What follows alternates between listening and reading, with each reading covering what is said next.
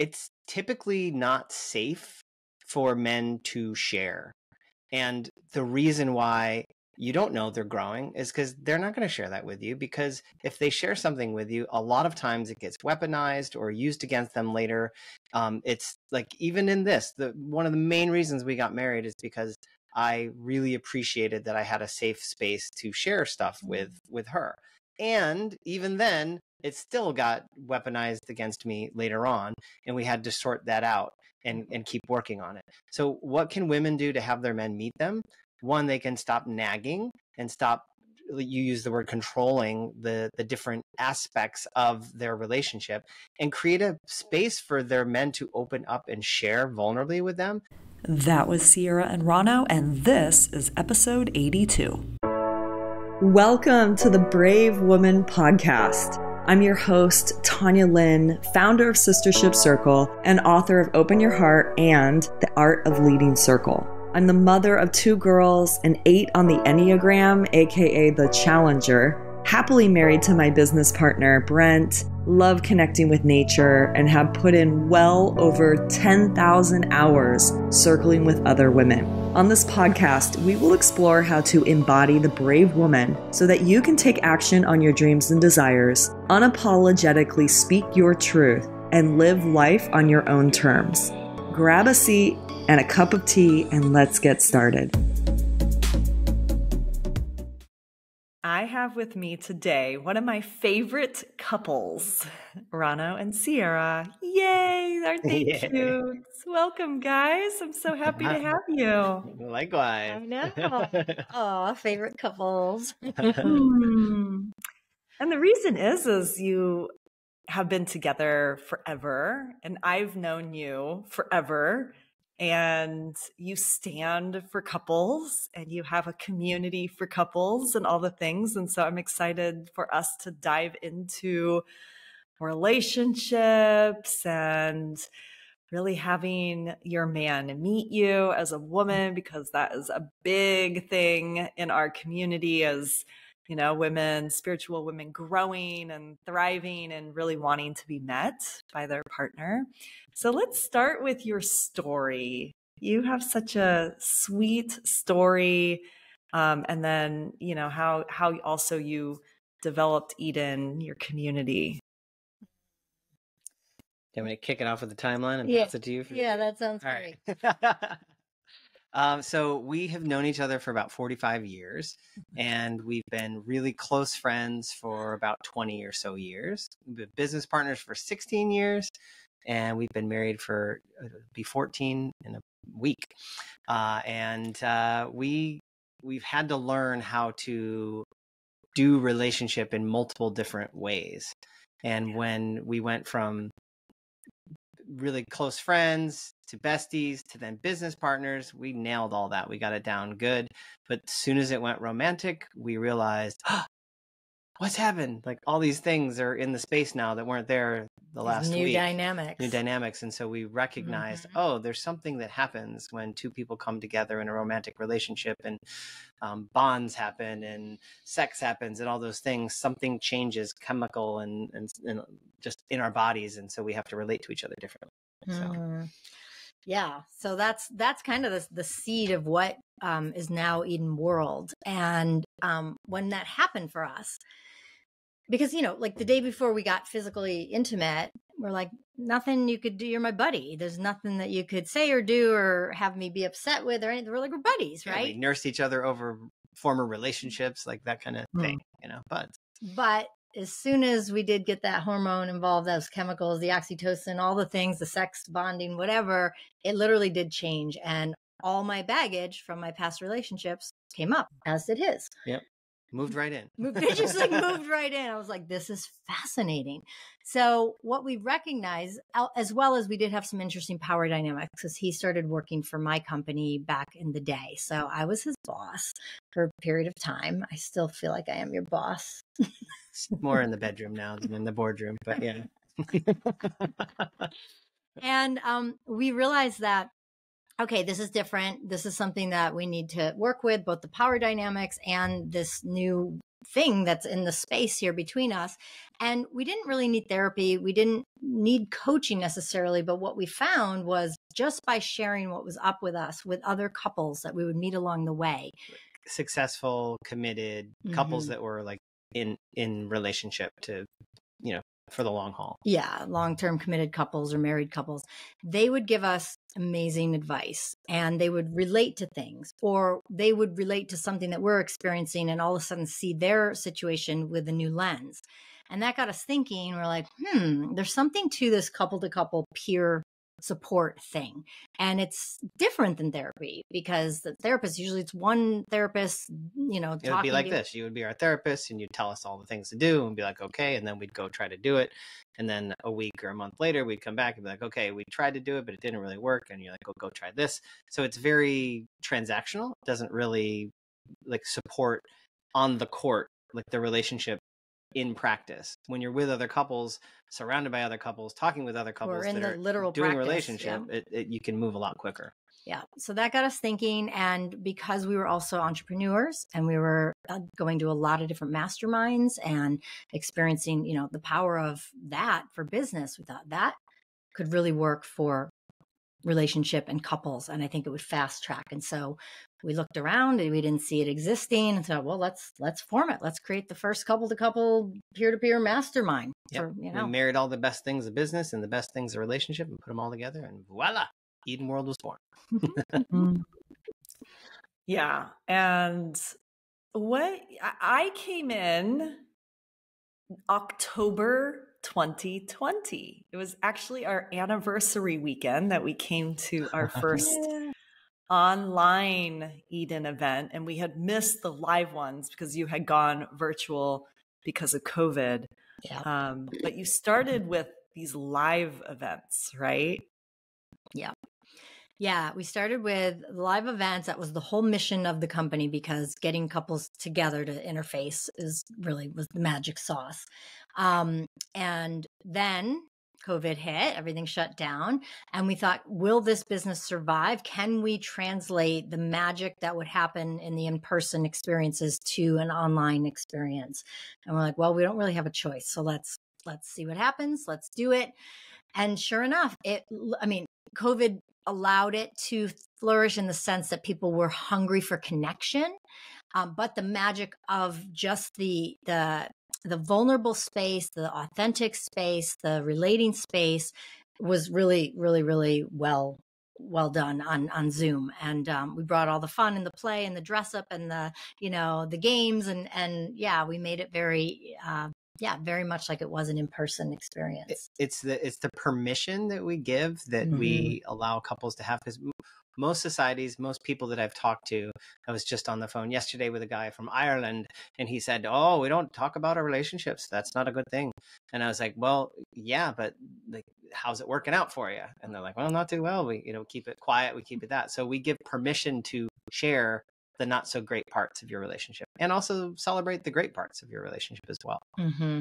yeah Yeah, that's huge. I mean, for us, because part of the structure is the um, the couples councils, Mhm. and so having three couples in a council, and for us having our couples council that we had for two years, maybe longer, three years.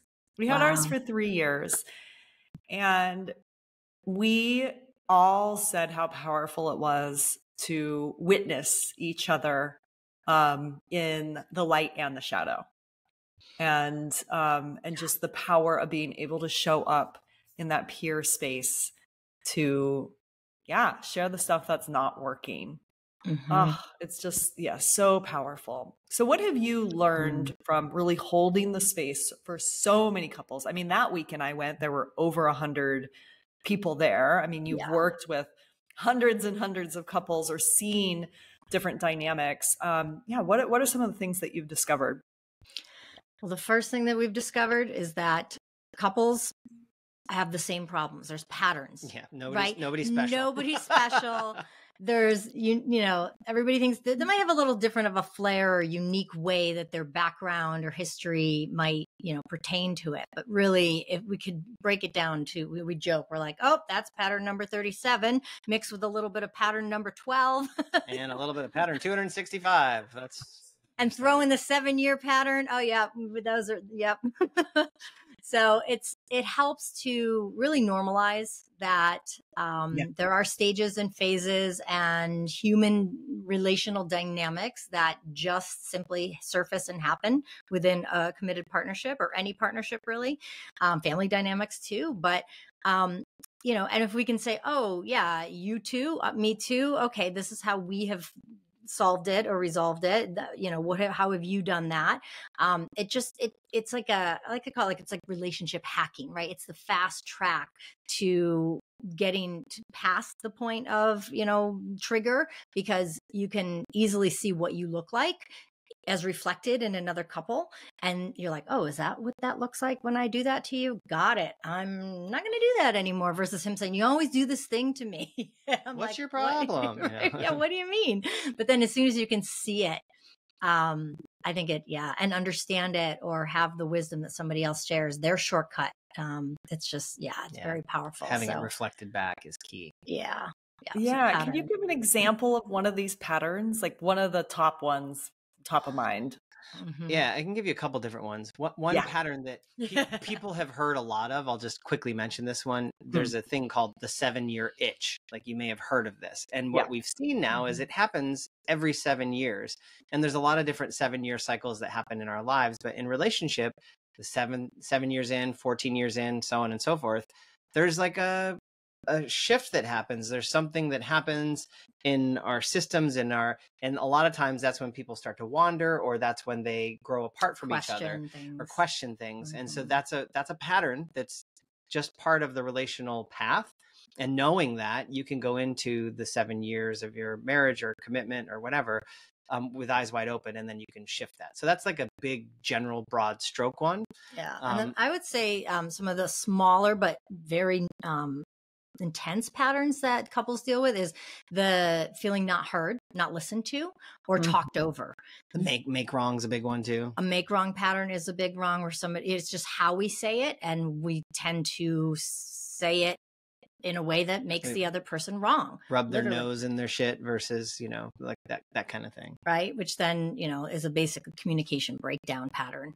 Um, a lot of these are in the community, you know, people say communication is everything in relationship, but there's so many different ways that the communication goes sideways or mm-hmm. awry um, another one is thinking that you know what your partner means, having thinking you're having the same conversation, but you're actually approaching it from two different perspectives and really not at all having the same conversation. The biggest one for us around that was around our sex and intimacy. As mm-hmm. I mentioned, we're really good at being business partners and friends, but we have to work at our intimacy because that was like the last thing in our relationship and we mm-hmm. default to friends easier. Mm-hmm. So for the longest time we kept missing around this thing and and I was like I just want to I just want to be more erotic. And she thought that the word erotic meant pornographic. And yeah, more sex oriented. So she was constantly like pushing against it. And I'm like, man, it doesn't get any more beautiful and poignant and like connected than erotic. Like yes, sex, yes, th- those things, but I'm not talking about porn where we're just, you know, let's whip off our clothes and, you know, bend you over a counter and, you know, you know, all the stuff. Well, well you, you, know, or you might know. not into that at times. No, but like you got to warm up to it. Where erotic is like, let's light some candles. Let's let's more on the sensual, the sensual side of it. Mm. So once we mm. finally figured out 10 years in that there was yeah. that it was just a misunderstanding what the actual word meant it changed everything. Mm-hmm. And so couples all the time are thinking they know what they're actually talking about, but unless you go that step deeper and mm-hmm. that that layer deeper, you you could be missing each other for the simplest little things and not even know it. Yeah. It's pretty crazy. yes. That would I would say that's our one of our breakdowns of course is uh, being in that pattern of not really or misinterpreting the other person. So yeah, thank you for bringing that up.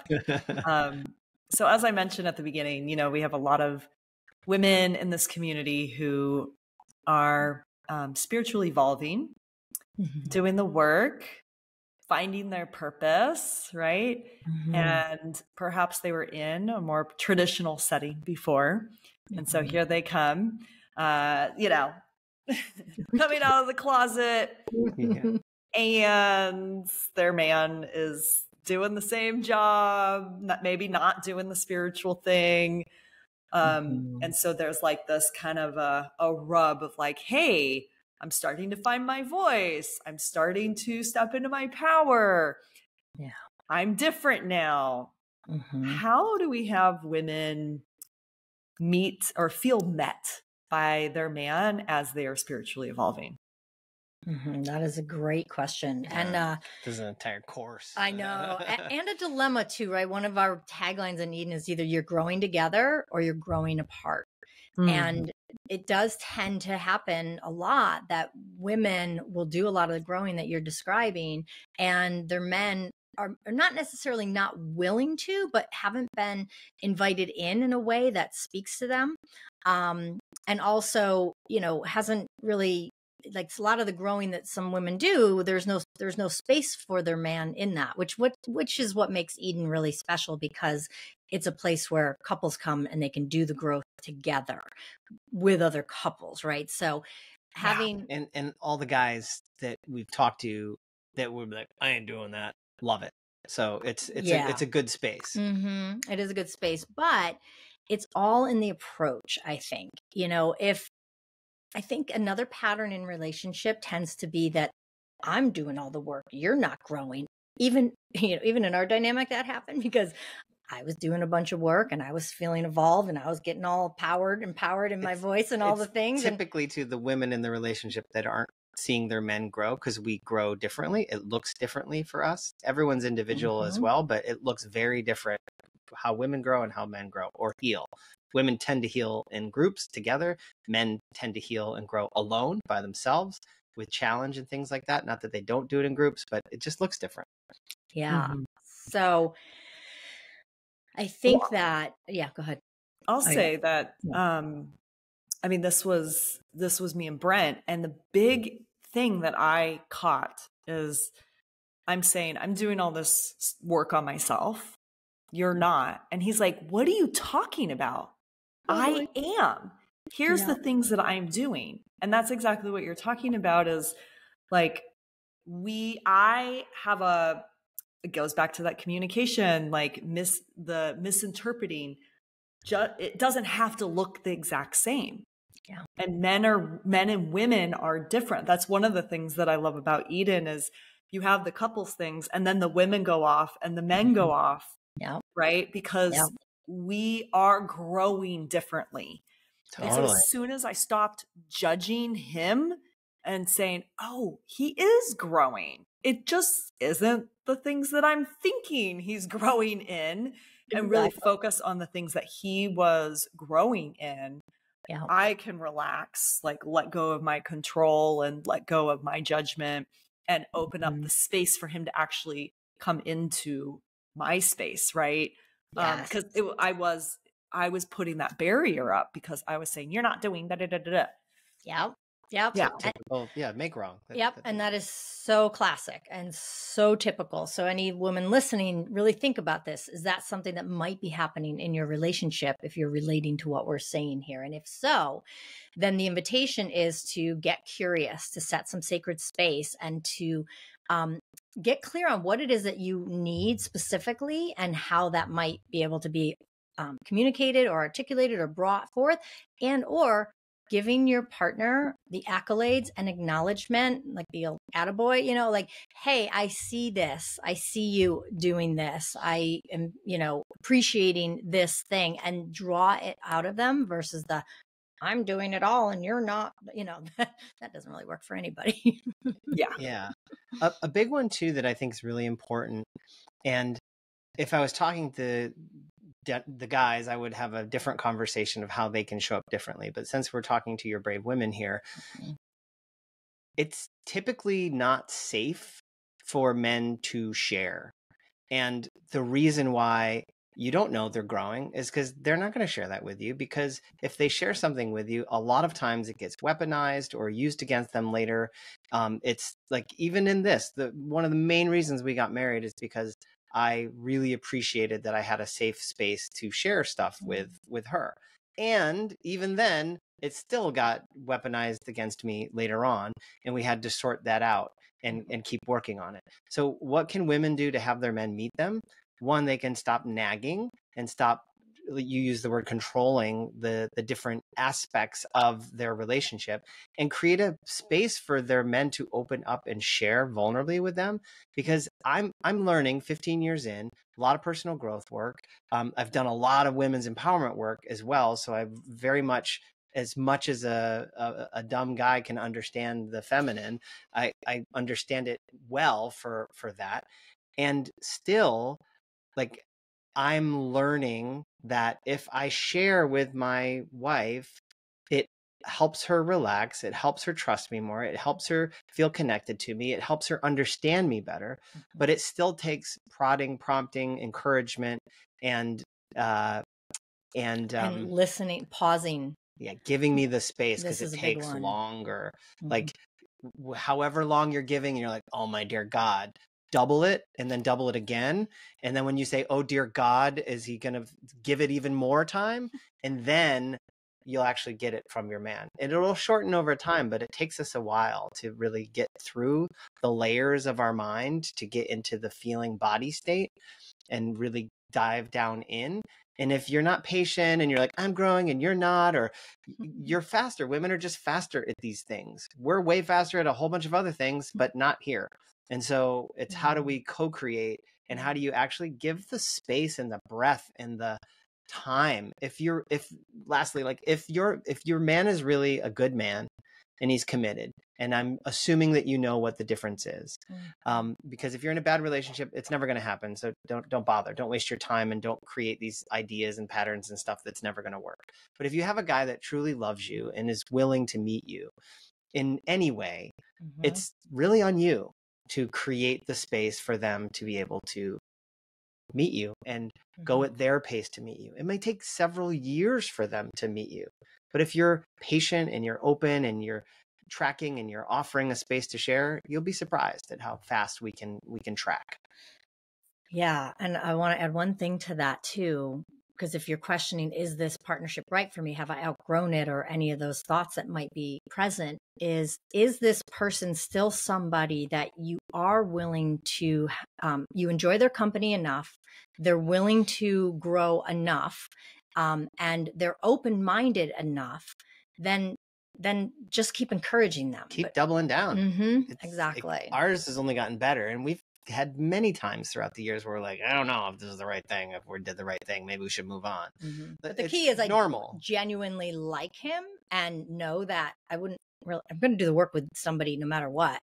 This guy is doing the work and I like him. I like yeah, him. For the most part. Yeah, mostly. Almost always, except when I'm really annoyed. But that's that's, that's her own thing. That's anyway. my own thing. Unless I'm annoying, but which isn't that often. Sometimes. Yeah, sometimes.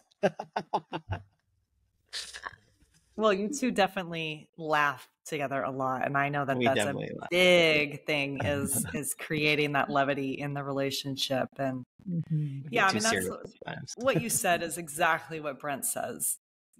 It's not safe right now, you know, and now he has the language to be able and the awareness um, from doing the work, and it's like yes, he's doing the work. He can actually mm-hmm. articulate that he's not feeling safe right now. You know, Tanya, come on, like give the guy some credit. So I just, I love all that. And that's such a great reminder for me mm-hmm. to keep breathing and giving him, you know, double, triple, quadruple the amount of space to be able to open up and feel safe. It's so tough. Yeah. I wish I could go faster. So but... tough. yeah, I know. Um, I think a really great place for couples to start is um, living a principle based relationship and that's one of the big things with eden is you have these beautiful principles you have these values um, and it's something that you can then take into your relationship. Can you talk a little bit about that? Hmm Yeah. So the principles are something that we can all orient around and give us a place of 12 ways of relating when it gets tricky.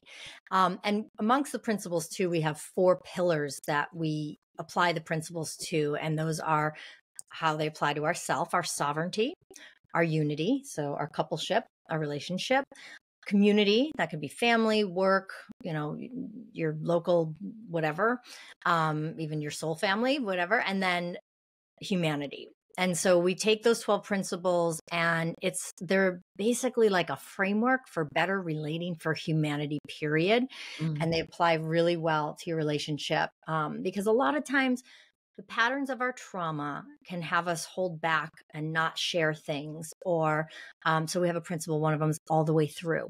And that means that okay if this is like we hear this the pebble in the shoe argument right? You keep having the same argument you keep bringing the same thing up. I'm like well because it hasn't been taken all the way through. There's something that's still in the space or in the emotional realm or something that still hasn't been fully addressed.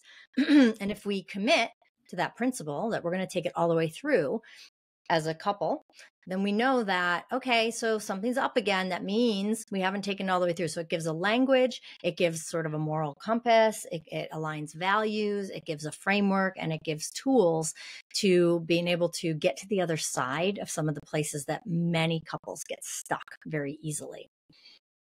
Yeah, what would you add? Anything? Well, our number one principle is relationship is our north star, mm-hmm. and so mm-hmm. that's where we start. If it's if you're not in a committed relationship, wh- whether that's like for instance, the the three of us or the four of us with Brent, like we we are all in a committed friendship. And so that's a version of using that as a community lens of relationship as our north star. So like how do we hold our friendship that relationship as sacred and as something that you know we want to care about each other and for and, and cultivate? and then same with the the unity aspect like how do we hold our relationship as sacred and as something that's valuable and then how do i hold my relationship with myself as something that's valuable? So relationship is your north star using that through those different lenses of uh, pillars helps us understand how we can relate to ourselves and each other and the, the other 12 are all equally as valuable of how you pull it inward how you move it outward so that you can you know spatially move around this planet and interact with humans in this crazy world uh, in a much more uh, simple loving. way and mm-hmm. loving, caring mm-hmm. way. Kind. Yeah. Mm-hmm. mm-hmm. Yeah. Evolutionary. And so you have these principles on the website. Mm-hmm. Yeah. Someone wants we'll to go sure look. That, yep. Yep. Yep. They would just click on ethos. Yep. And it's got our cool. right we'll, we'll, put that in the show notes. So cool. if you want Perfect. to see these principles um, and and be able to look at that, you can. Mm-hmm. Um, yeah, you can go check that out. So cool. Mm-hmm. Um, yeah. Wow. So it's important for us to give our man some space and starting to live by principles and have a north star for your relationship. Mm-hmm. I love that. Having that community peer to peer support it's just invaluable um yeah so how does someone find out about eden and do you have a free gift mm-hmm. for everyone today? We do. Ooh. um, well, one, we we put together um, the principles in a format. It's like a beautiful twenty-five page or more um, guidebook, guidebook Digital that you guidebook. can go through and check it out and read all of those. Mm-hmm. Also, you want to share about this new one that we created as well? The sacred space, or which one? Well, that, that too, yeah. And then we'll give you a, our sacred space guide as well, which is we have a little, basically a relational upgrade package that we put together. Specifically. Yeah, specifically for mm-hmm. your for your crew because we mm-hmm. love you and we mm-hmm. um, we want to make sure that they're supported. Um, in the sacred space guide, that uh, that's the format that we use to check in with each other mm. to create that space and that safe space for either of us to share what's mm-hmm. going on, whether that's a positive thing or a negative thing that you're wanting to change or fix or you know um, unearth in the relationship mm-hmm. and it walks you through the steps in the process of how to do that because mm-hmm. most people the reason that they get in conflict is hmm. they do like drive by trying to fix things Yeah. instead of actually saying, Hey, I value you. I value us. I value our relationship and I value our connection. So why don't we take some time and sit down with one another and have a real adult heart to heart conversation Mhm. about what's going on for us and then how we can meet each other and solve this so we can get back to loving each other and back to building our businesses or growing our careers or growing our family from a loving place instead of like yeah you did this thing to me blah blah blah and just walk away and just throw this out it's it's just ugh. it's like we let's be adults here folks Yeah. Let's And the up. more regularly you connect in sacred space, the less you're going to have to connect in sacred space because you're from a rupture or a blowout. So it's kind of like a maintenance practice. Yeah. Yeah. And then we also um, just recently put together this thing called the five minute fix.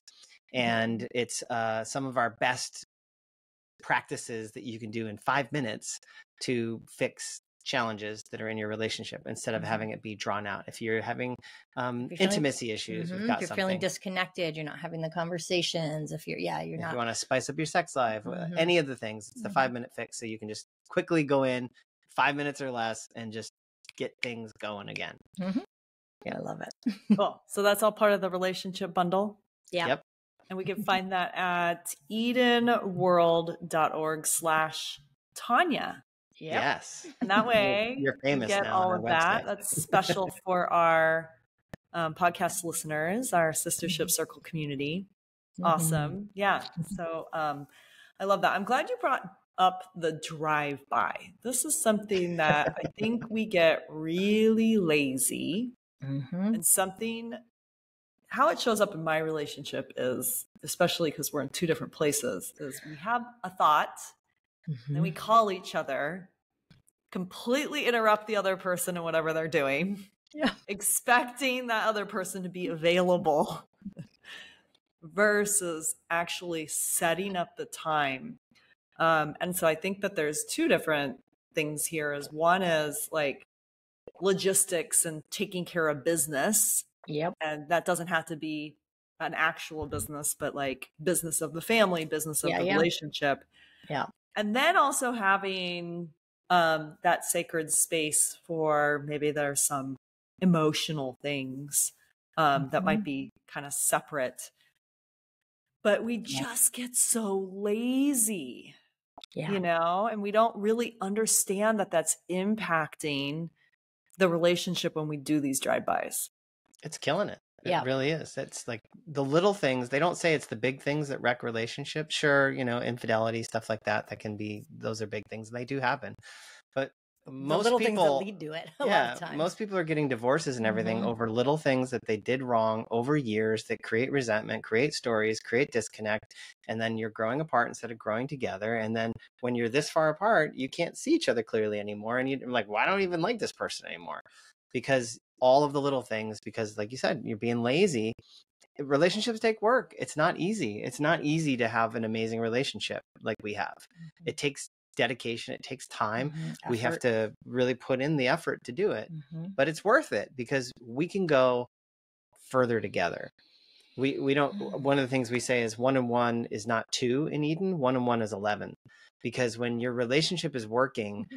it's just quantum it just you can just do so much more when you have a solid relationship than you can do on your own period Mhm. Mhm, But Yeah. you have to be connected and then congruent and aligned in order to have that that quantum. Yeah. And that takes yeah day to day. we just want we're like oh the relationship should just be so easy and you know and then we're on autopilot and we're not actually creating what we want so like having a conscious marriage a conscious partnership Mhm. takes work takes practice Yeah. Yeah. and so Yeah. is there anything like I mean, you've been together forever, your whole lives. You have a very conscious partnership in marriage. Um, are there any other things that we haven't mentioned so far that um, that really make it work for the two of you? Yeah, I would say the biggest thing is intentionality on the micro level.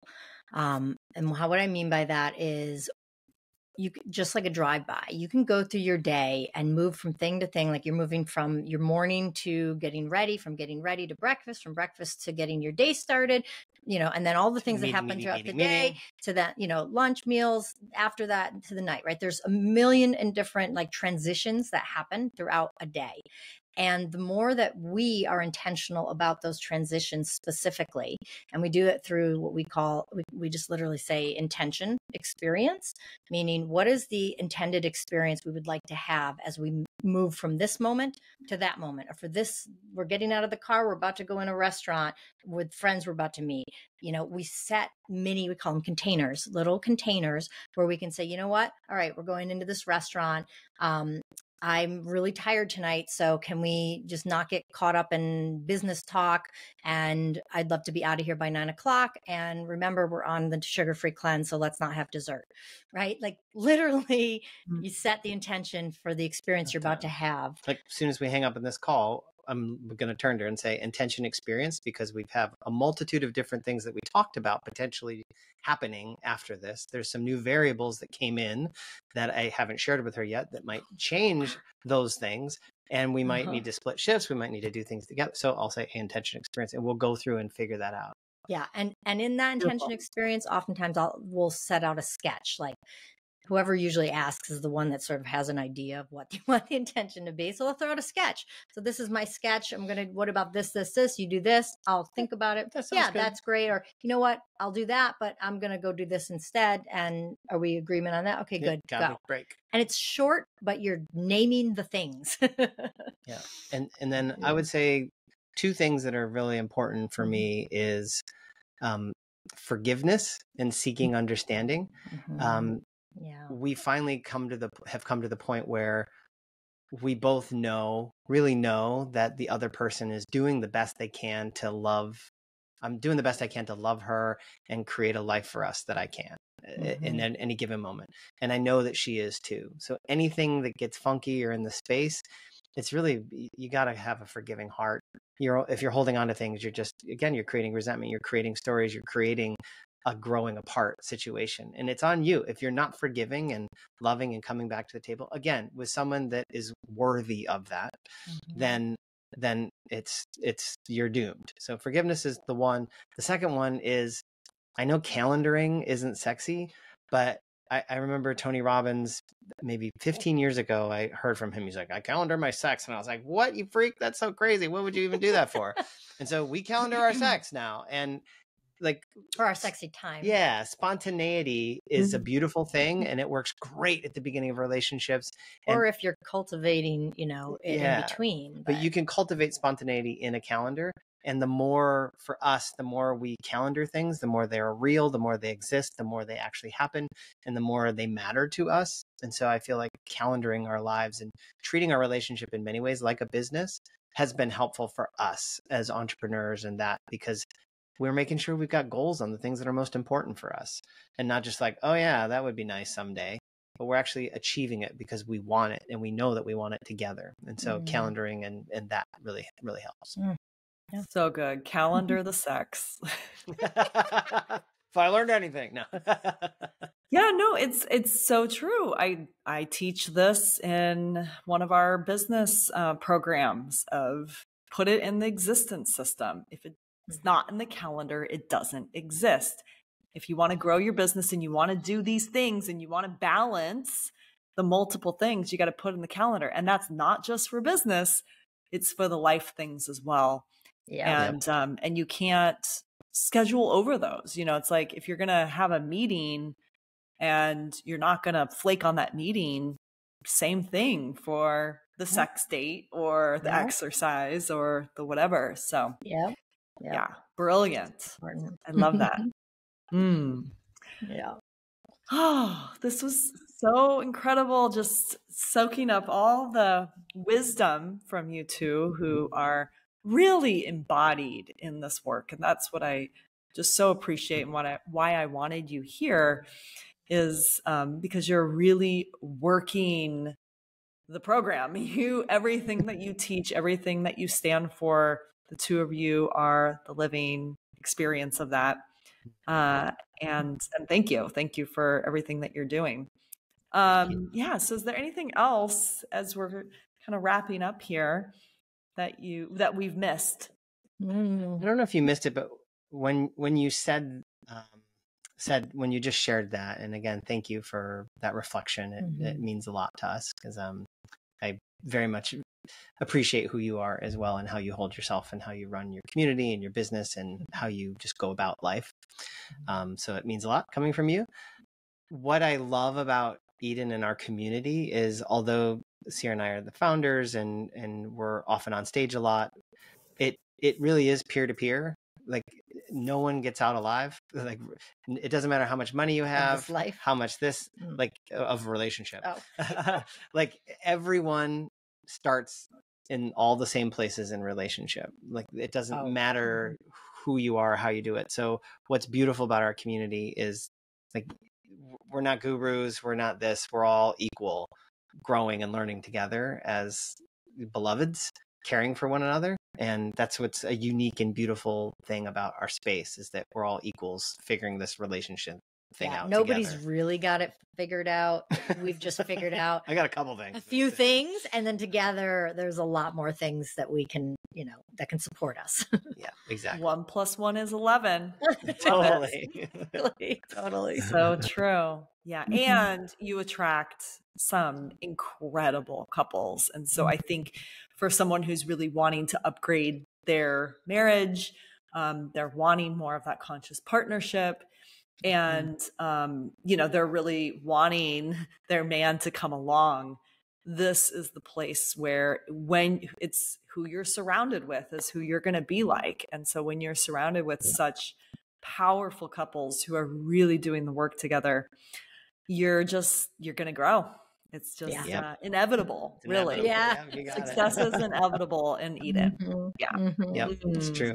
I love that Thank you, friends. Thank mm-hmm. you. So grateful you. for you. Thanks for sharing all your wisdom. And thank mm-hmm. you, sisters, for tuning in. We'll catch you next time on the next Brave Woman podcast. You just listened to this show. I'd love for you to leave the Brave Woman podcast an honest review. Reviews help podcasts like this one grow, making it more possible for me to devote my time, energy, and money to its production. If you take a screenshot of your review and email it to support at sistershipcircle.com, we'll send you one of our archetype activations as a thank you gift. Thank you so much for your support. I really appreciate it. Up next, we're wrapping up season five with a solo cast about getting the lessons from uncomfortable circumstances, transitions, and a prayer for more fun and play. Join me for a heartfelt final episode.